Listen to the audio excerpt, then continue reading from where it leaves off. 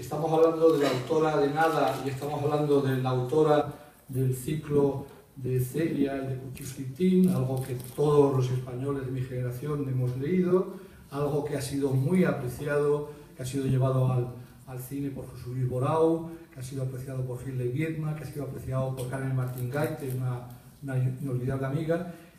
Forma parte el mundo de Elena Fortún de la educación sentimental de cualquier español de posguerra, quienes eh, tienen la palabra hoy, que van a evocarnos en qué punto, digamos, de sus vidas coinciden esa eh, escritora que deslumbra al público español de la posguerra con su novela Nada y esa escritora que estaba volviendo de su exilio y que pertenecía a otro mundo, que había sido admirada en la distancia por Carmen Laforet ya en sus años adolescentes y que entonces va a fraguar allí una amistad.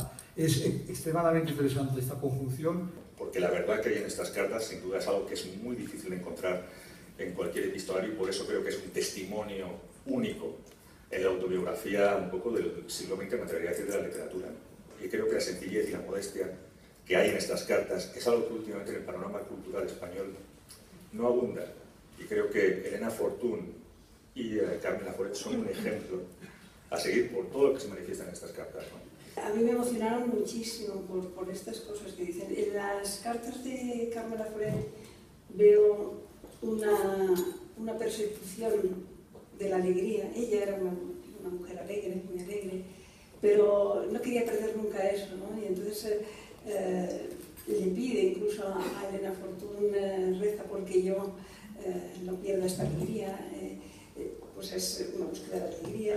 Habla mucho del dolor, el dolor como, incluso como motor en la vida. El dolor que bien gestionado hace avanzar. Y, y, a mí me descubría también un, un, periodo de mi vida que no conocía, claro, que no recordaba, yo cuando se están estas cartas eh, escribiendo, pues tenía tres años. Estas cartas, para mí lo que han sido, han sido eh, una manera de nombrar muchos de las madejas y de los embrollos. Ella dice, Carmen, en un momento, cuando dice por qué escribe con rabia, con cansancio, eh, y que aún así es importante porque alivia sus fondos revueltos y, y, aún así lo que hay que reivindicar es que no era esa no marginalidad, esa, eso que ellas se sienten un poco impostoras dentro de la literatura y ese agotado femenino también que se repite en las generaciones y que hay que reivindicar, como dice Nuria, que por suerte ellas y su admiración mutua y su búsqueda mutua y ese amor inmenso que tienen se recuperan también en la literatura, en lo que significan la una a la otra. Voy a decir una cosa, que de todo lo que hemos trabajado hoy, hemos charlado, no nos hemos dado cuenta, y tanto hablar de sincronías, primera carta que tenemos, Buenos Aires, 1 de febrero de 1947, no sé cómo andaría el correo entonces, pero más o menos le calculo yo que llegaría a Carmela Foret más o menos por estas fechas, más o menos, calculo yo. Eh, bueno, están vivas las cartas, eh, están vivas, son, son, son textos eh, importantísimos que recuperar. Eh, para mí como, crítica, eh, como, investigadora, eh, también como profesora, que no deja pasar un año académico sin enseñar nada, porque me parece un texto fundamental para mi alumnado y le comentaba, le comentaba a Cristina que yo año tras año veo generaciones de jovencitos y jovencitas británicos que se enamoran de, de, de, esta novela y que quieren saber más eh, de la escritora y, y, nos dan ustedes las ganas que tengo de incluir en mi bibliografía el curso que viene este libro, eh, por fin. Eh, pero absolutamente fundamental el, el reflexionar entre los dos puntos vitales que, nos, que, nos, que encontramos reflejados en este libro. Tenemos una escritora, eh, y más que al final de su vida, a mí me gusta decir al final de su autoría, al final de su, de su, vida autora, y luego una escritora que comienza. Porque la Carmen Laforet que está escribiendo aquí no es eh, esa autora que es, canónica, que es importante, desde luego eh, para el hispanismo internacional fundamental, eh, sino que es una joven madre y una joven escritora que ha publicado eh, una novela eh, importante y que, y que bueno, eh, que aunque no use la palabra conciliación, está intentando conciliar, eh, conciliar pues, eh, pues esos primeros tiempos de, matrimonio, de vida de casada y también sus primeros tiempos de, vida profesional. Y una cosa que, comentaba eh, yo a, Cristina es que mirando diferentes epistolarios de, Elena, que era una mujer que escribía tantísimas cartas, le interesó mucho el tipo de la, de la esposa joven, de la mujer que empezaba, que empezaba todo.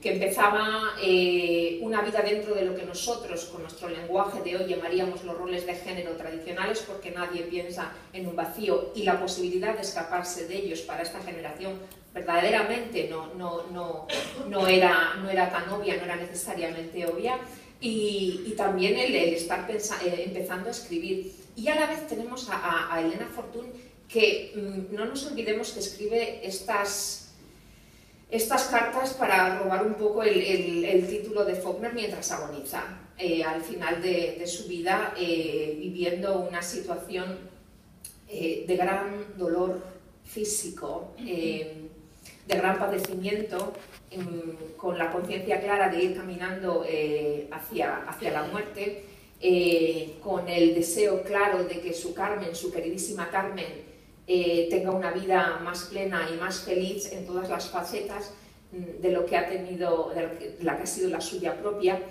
Eh, y, y aún así hay un territorio común en el que darse alegría, porque a pesar de la tristeza que hay a veces, son unas cartas con un tono mm, terriblemente alegre, y, y también hay un intercambio de ideas, de lecturas, porque para escribir hay que leer, y, yo pienso que esto va a ser un texto académico absolutamente fundamental para rastrear lo que ambas autoras consideran importante, de tal manera que podemos ir redescubriendo la genealogía de dos de nuestras escritoras más importantes y por ende eh, no ya de una generación sino de dos.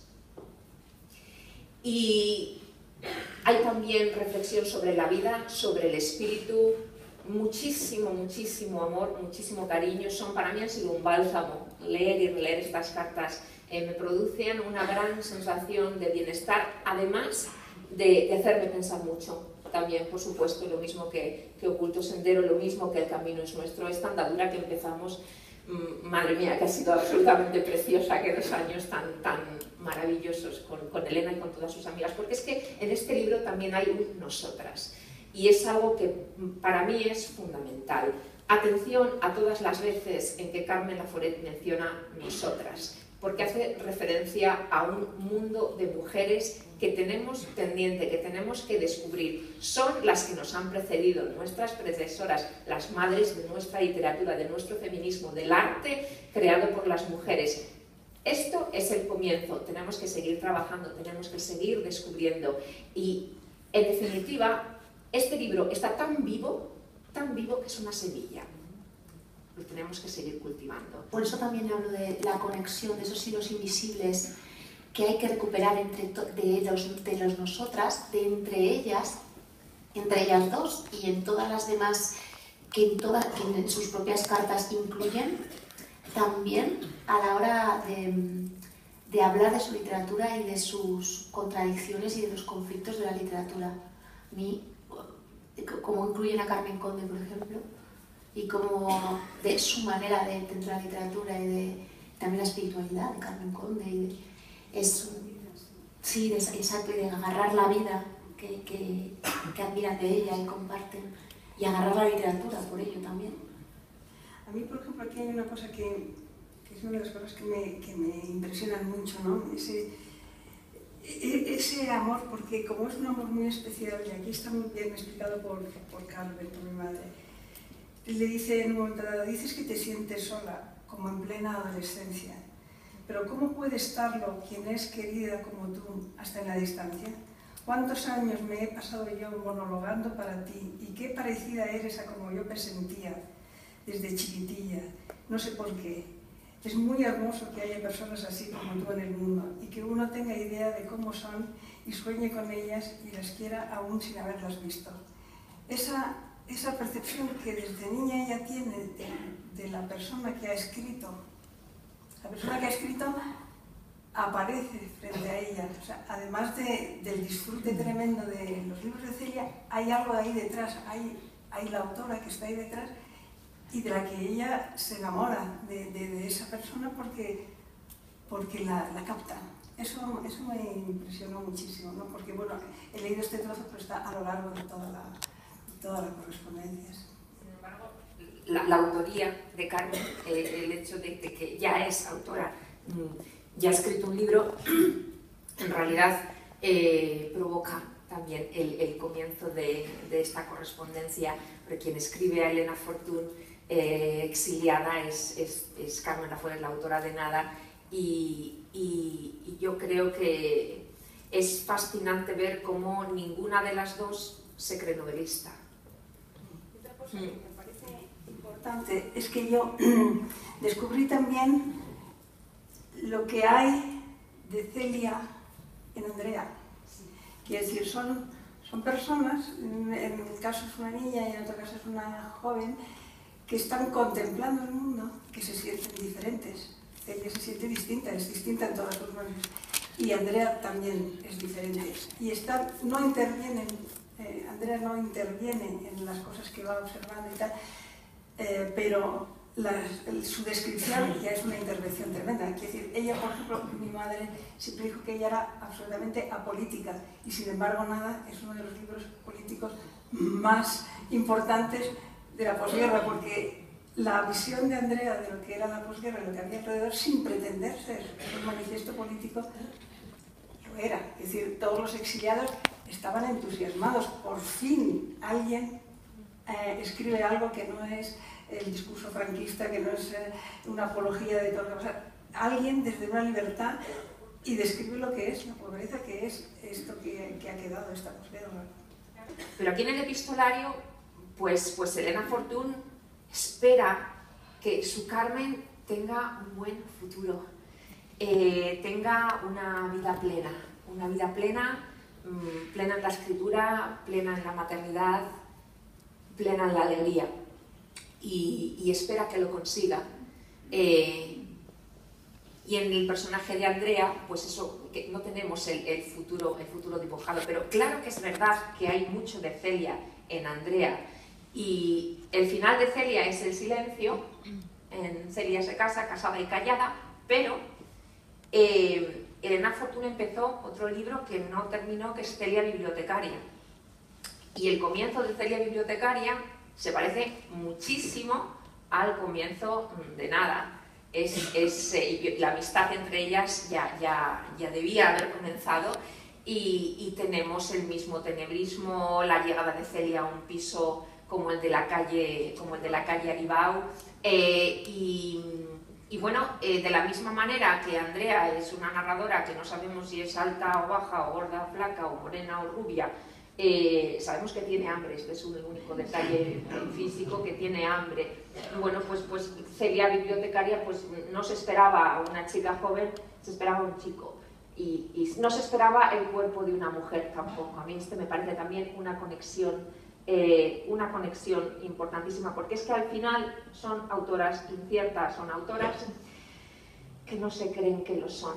Y, y por suerte para nosotras, pues bueno, mmm, eh, las, las, estamos reivindicando. Eh. Y eso que, que bueno, es, es, es, enternecedora, esa carta en la que hablan de, del acto de escribir, del acto de escribir. Y Elena dice, bueno, lo mío es que, mira, yo me imagino una cosa que me dijiste tú el otro día, de una anécdota, y la ha incluido en Patita y Mila Estudiantes. ¿no? Entonces, son escritoras que escriben de manera muy diferente, es, eso es absolutamente cierto.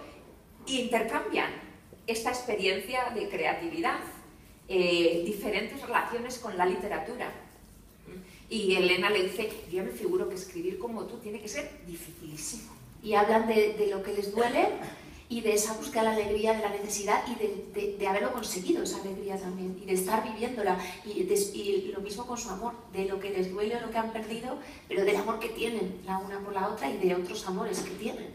A la vez, yo como, como lectora eh, en, en, en, este año eh, 2000, 2017 de estas cartas, yo, yo siento un inmenso dolor y una inmensa pena cuando leo a, Elena Fortuna agonizante arrepentirse de haber sido, arrepentirse de haber querido, de haber, de haber sido una mujer que no sabía ser esposa y madre, eh, una mujer que, bueno, que desarrolló eh, esa necesidad de comunicación, eh, esa vida intelectual y, y, esa creencia de que, bueno, he sido mala, a mí me, me impacta muchísimo y me entristece tremenda, tremendamente.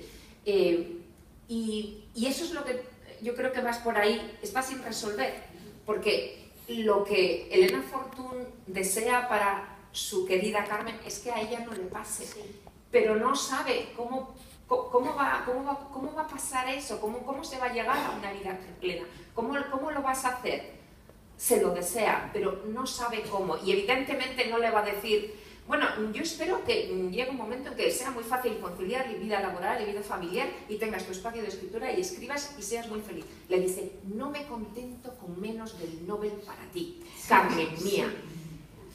Pues porque ve en ella, y eso es la inteligencia de Elena Fortún, ve en ella la gran escritora que es para nosotros. Y sin embargo, Carmen Laforet tiene la misma, lo, que también causa, a mí me causaba mucho dolor leerla también a Carmen cuando habla de la necesidad de podarse, sí, que es tremendo, de podarse, de, de cortarte para alcanzar la serenidad, que no la plenitud, no todas tus posibilidades, sino no vivir en esa angustia que les hace el querer tenerlo todo y no poder. Pues Matilde Ras era, era la inversa, era yo deseo, yo quiero, y ella quería, no quería podar sus deseos, quería que fueran pájaros que volasen y seguirlos. Eh, dos propuestas eh, vitales tan diferentes. Y, admiran a otras mujeres, eh, como lo que dice de Carmen Conde, como agarra la vida, de Lidia, de Lili, ¿cómo se llama? Y esa fuerza y esa, y esa esa persecución de Lidia Álvarez de manera de su deseo, como le ha dado tanto también a Carmen, tanto como la reflexión de la renuncia. Por eso, o sea, es que sí que duelen y a la vez buscan esos, esos referentes y están ahí. Bueno, pues, pues eh, yo mm, voy a leer un, pequeño eh, fragmento mm, de una carta que escribe Carmen eh, el primero de enero, que es el del año 52, y, y le dice, Elena mía, Tú has subido tanto ya a través de tu sufrimiento y de tu amor, ves las cosas tan limpia y serenamente que no me parece, que me parece que es un ángel quien ha escrito esa carta que me llegó ayer y que yo guardaré siempre. En esa misma carta más adelante le dice, no te preocupes de mí más que para pensar que me has hecho mucho bien siempre, desde que yo era una niña a quien tú no conocías y que vivía muy lejos de ti, pero que en tus cuentos maravillosos aprendía sencillez, belleza, gracia y adivinaba detrás de aquello un alma, la tuya, llena de cosas extraordinarias. Adivinaba yo tu generosidad, tu comprensión, tu capacidad de cariño.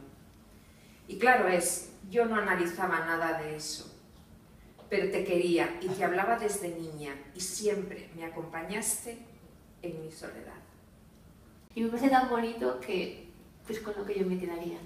Hay una de Carmen Laforet, Elena Fortún, y le dice, si necesitas algo, dímelo. Esta carta es muy corta, pero muy pronto habrá otra.